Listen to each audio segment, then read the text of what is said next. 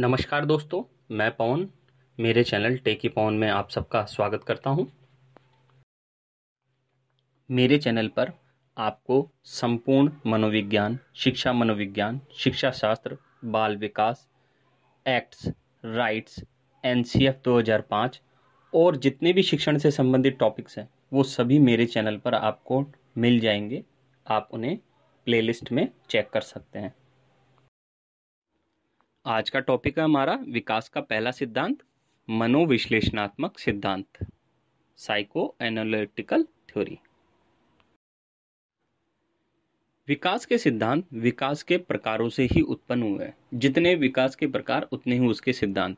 अतः विकास के प्रकारों की विभिन्न विद्वानों द्वारा जो व्याख्या की गई है, वही विकास के सिद्धांत है।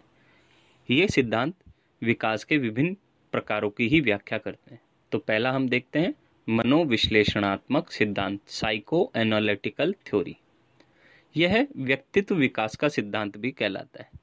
इस सिद्धांत का प्रतिपादन वियना के सिगमंड फ्राइड ने किया था। सिगमंड फ्राइड ने मन की तीन दशाएँ बताई थी। नंबर वन, चेतन भाग या चेतन मन। यह मस्तिष्क का एक बटा दस भाग होता है। जब भी व्यक्ति कुछ करता है तो प्रारंभ में वह चेतन मन का ही हिस्सा होता है। जो कुछ भी आपको याद रहता है, वह चेतन मन में होता है।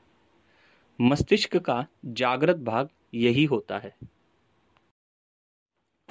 दूसरा है अचेतन मन। चेतन मन और अचेतन मन में क्या अंतर है? चेतन मन जो जागता हुआ होता है एक्टिव माइंड और अचेतन मन जो एक्टिव नहीं है।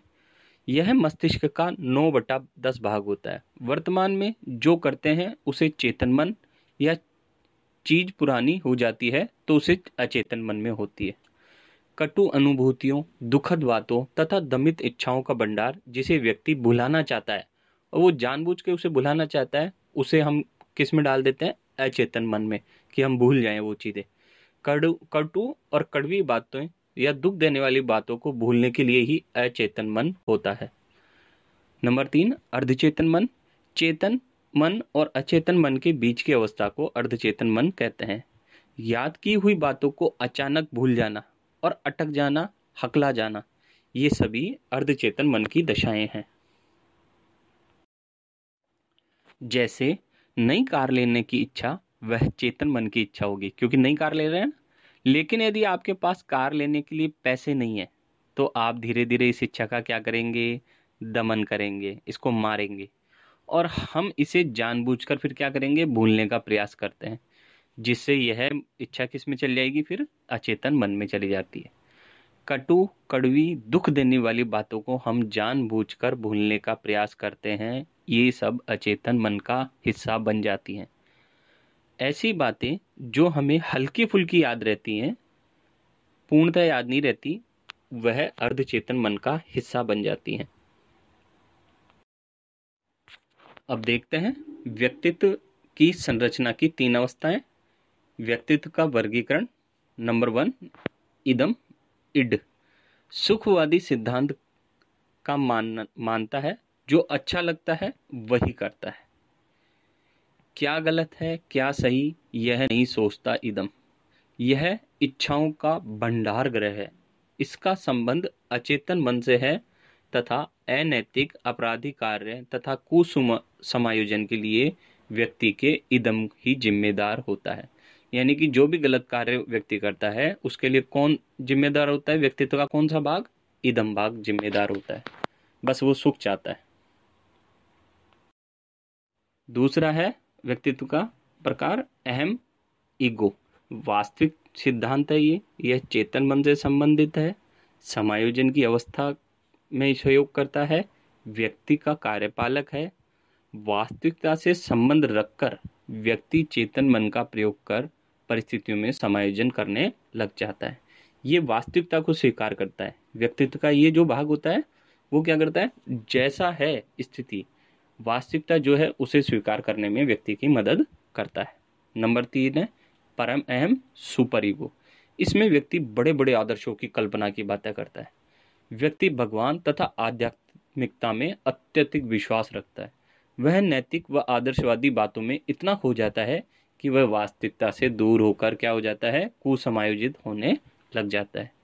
सबसे आदर्शवादी, नैतिकतावादी या सबसे अच्छी व्यक्तित्व संरचना सुपर ईगो ही है।